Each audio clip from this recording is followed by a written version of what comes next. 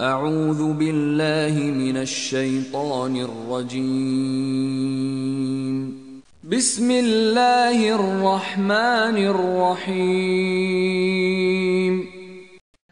Ey iman edenler! Mallarınızı aranızda meşru olmayan yollarla yemeyin. Karşılıklı rıza ile yapılan bir ticaret yapmanız ise elbette meşrudur. Sakın haram yiyerek başkasının hakkını gasp ederek kendinizi öldürmeyin. Allah size pek merhametlidir.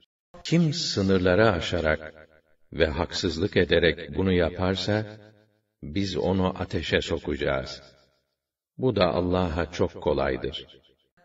Bir de Allah'ın kiminize kiminizden daha fazla verdiği şeyleri temenni etmeyin. Erkeklere çalışmalarından nasipleri olduğu gibi, kadınlara da çalışmalarından nasipleri vardır. Çalışın da siz daha hayırlı şeyleri Allah'ın fazlından isteyin. Allah her şeyi hakkıyla bilir. Ey iman edenler! Allah'a ve Resulüne hıyanet etmeyin. Bile bile aranızdaki emanetlerinize de hıyanet etmeyin.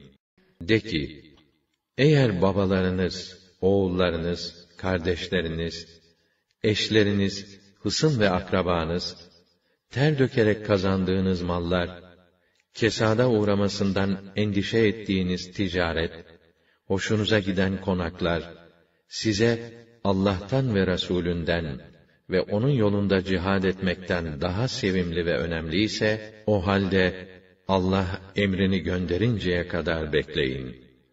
Allah öyle fasıklar güruhunu hidayet etmez. Umduklarına eriştirmez. Ey iman edenler!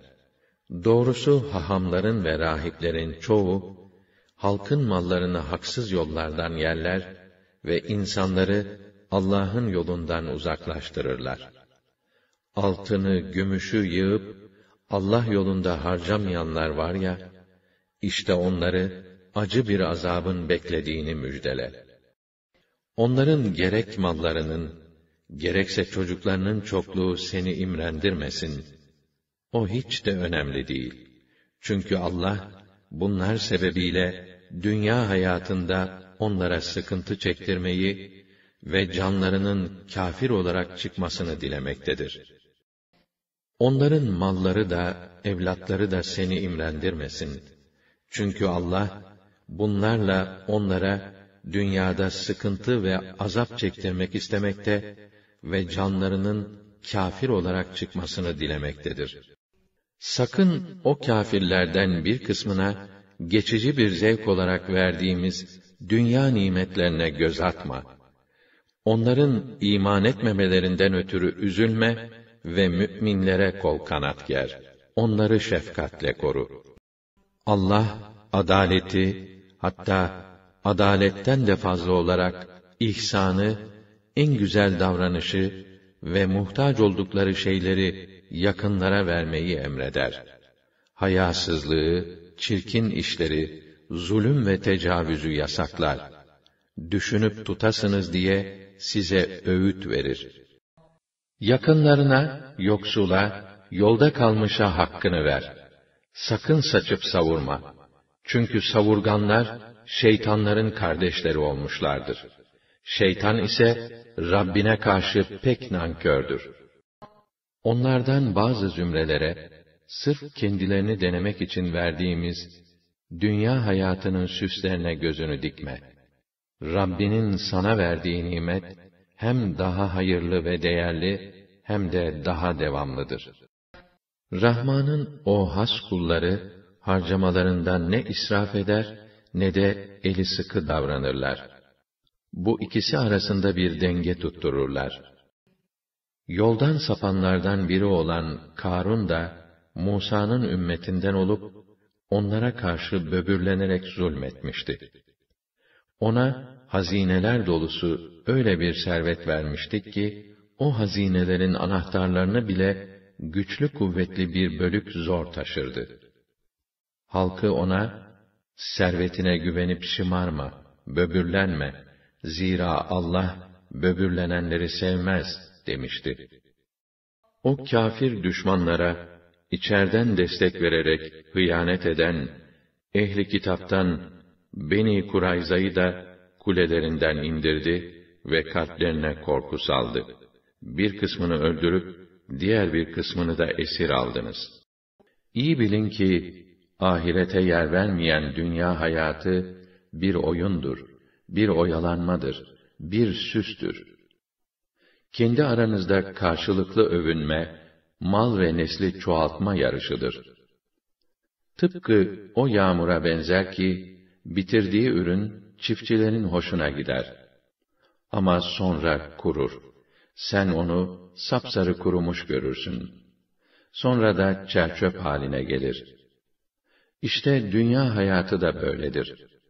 Ahirette ise kâfirler için şiddetli bir ceza, müminler içinse Rableri tarafından bir mağfiret ve rıza.